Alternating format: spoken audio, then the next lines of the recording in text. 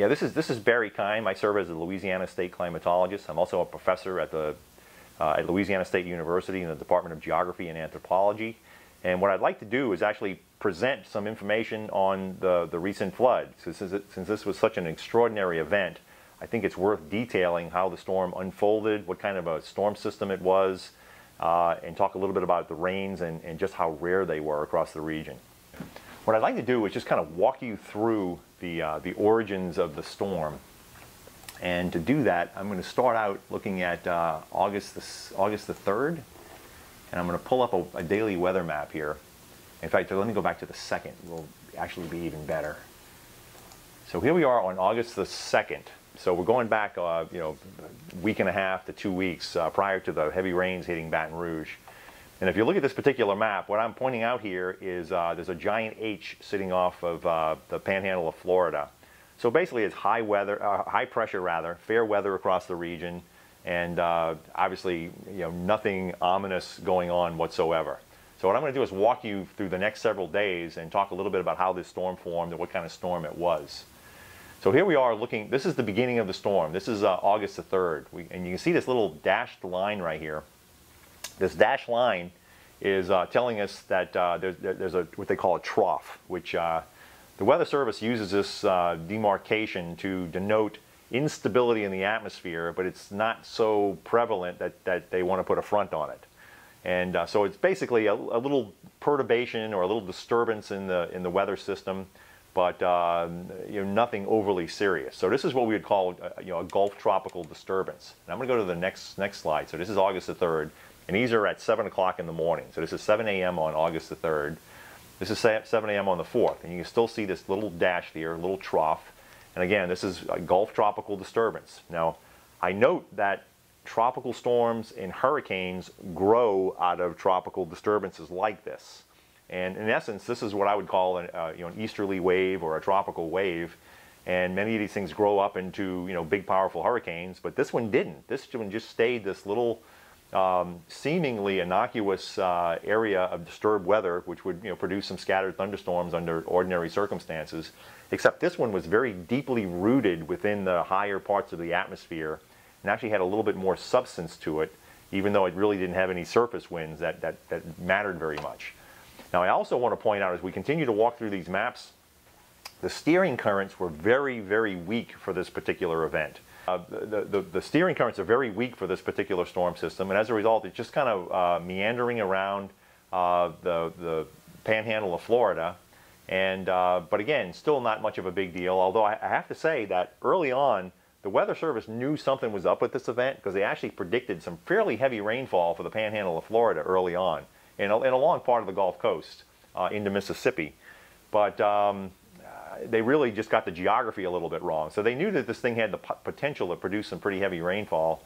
Uh, but again, given how uh, slow it was meandering and, and uh, the steering currents made it very, very difficult to actually nail exactly where all this was going to happen. So this is on August the 5th. Here we are on the 6th. It kind of retrograded back a little further toward the east. Then we're on the 7th. It's even further east. And then here's the 8th. It, uh, you still get this little trough right here. Um, you know, it's taken on a little bit more development here on the 8th. Then we move over here to, to uh, August the 9th. And now they actually have a closed isobar around the, the, uh, the area of low pressure. So it's actually gotten a, maybe slightly more organized, but then that, that's going to ultimately disappear as well. As we move over to the 10th, And here we have it on the 10th, we have it sitting right off the, uh, this is on Wednesday now, Wednesday, August 10th. It's sitting right off of southeastern Louisiana. And one of the things that really struck me on Saturday as I went out to, you know, to, to observe what was going on was just how slow the water was moving in all the bayous and, and you know, the drainage network here in Baton Rouge. Um, um, you know, some of the creeks and, and, and uh, Dawson Creek, for example, runs right near my house. And I kind of monitor that very closely because it's close. And uh, when it was at, at its uh, peak, peak level, it seemed like it was barely even moving. And that's because all the, the river systems uh, you know, below it were at that elevation or higher and, and preventing it from uh, moving the water out. So very com complex hydrological situation here, and we just had widespread flooding across the region. counterclockwise circular circulation around the area of low pressure to our basically to our uh, to Baton Rouge's west. We had storms moving from north to south, and on our east, they were moving from south to north as they rotated around this area of low pressure. And it just continued to produce rain, and it was just uh, it just never backed off. It was unrelenting, and uh, we went. I, in Baton Rouge, we, we went for 32 straight hours of rainfall. I mean, I remember waking up, uh, I mean, it, it, started raining on Thursday night. When I got up on, on Friday morning, it was still raining, and it rained every waking moment of Friday. When I went to bed Friday night, it was still raining, and when I got up on Saturday, it was, it was raining some more. So we went 32 straight hours with rainfall, and we went with measured rainfall, and we went 39 straight hours, at least at Baton Rouge Airport now, we went 39 straight hours where we had at least a trace of rain every single hour. And, uh, and the, the rainfall totals just kept mounting and mounting and mounting. And I'll talk about those in just a second. Let me finish this sequence. So this brings us into Saturday, August 13th. Started to wind down a little bit over in the Baton Rouge area, but rains were, were howling pretty good in, in uh, southwestern Louisiana. And now it's starting to be absorbed into a, an approaching frontal system. And this frontal system is part of what actually was uh, keeping the storm from moving in the first place. And then we'll get into the 14th real quick. I guess we'll have to weave this pause out of here too. And uh, here we are on the 14th, where it's essentially absorbed in the front, and uh, and it helped produce produce some you know extra rainfall over in uh, in you know western Louisiana and into Texas. So that's kind of the sequence. So now what I want to do is shift gears a little bit and talk about how much rain did it actually produce. Okay, so what we're looking at in this uh, graphic is the radar estimated rainfall across Louisiana. And what's really impressive about this event is just how large the rainfall footprint actually is with incredibly heavy rains. For example, the areas in red, which you can see all the way, you know, over into the New Orleans area and on, on into uh, all the way into Texas, actually, in uh, you know, southwestern Louisiana and on it toward Beaumont and so on. Um, that's all five inches or more. But the area of 10 inches or more starts at with this area of magenta that, that I'm pointing out here. Mm -hmm. And all that area had 10 inches or more. The, where we start with the purple in here, that's all 15 inches or more. And then in the white, we're looking at 20 inches or more of rainfall. And that's just unbelievable to have this big of a footprint of at least 10 inches. And the footprints for 15 and 20 inches are also incredibly impressive. So clearly you're going to have impacts with an, an event like this. This is seven-day rainfall, just so you know, um, ending on, let's see, I'll get the date here. At seven-day rainfall uh, ending on August the 17th. So this is going back from, uh, I guess, the 11th to the 17th.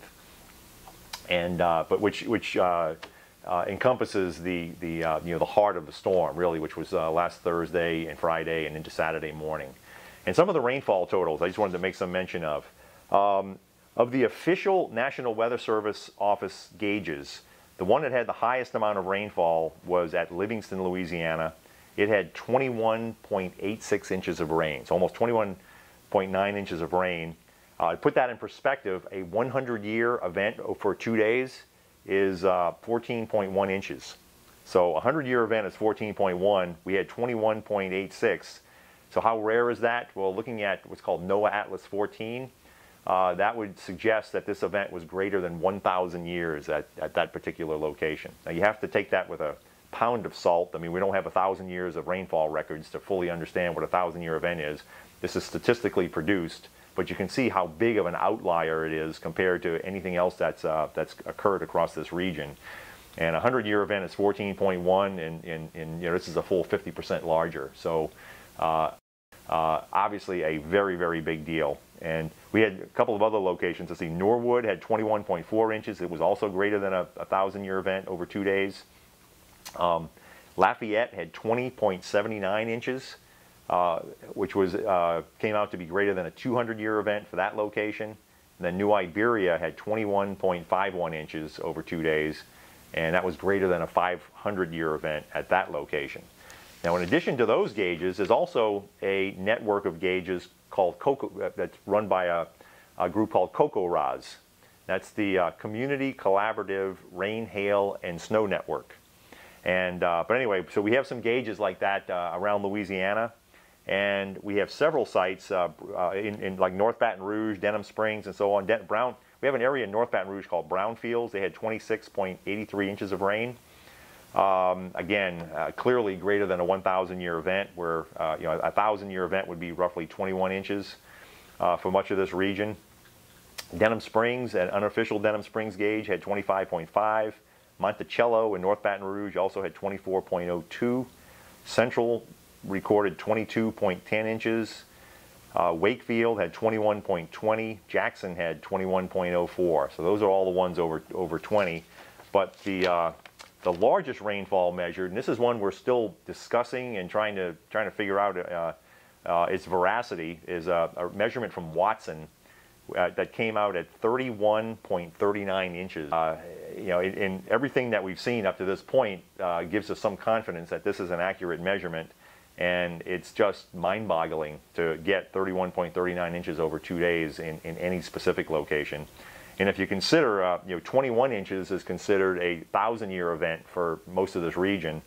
Uh, how rare is uh, 31.39 inches? Uh, you know, we don't really have that answer right here, but uh, it's obviously an extraordinary rainfall total and uh, not one that we're likely to see again anytime soon. And clearly, with uh, rains like this, it's, uh, it's certainly understandable as to why we would have you know, widespread flooding across this region. And of course, the hydrology here is very complex, and we have all sorts, you know, major rivers with tributaries going into those rivers, and um, very com complex hydrological situation here and we just had widespread flooding across the region. So this is Barry Keim. Uh, I hope you enjoyed uh, or learned something from this particular presentation, and I'm now signing off.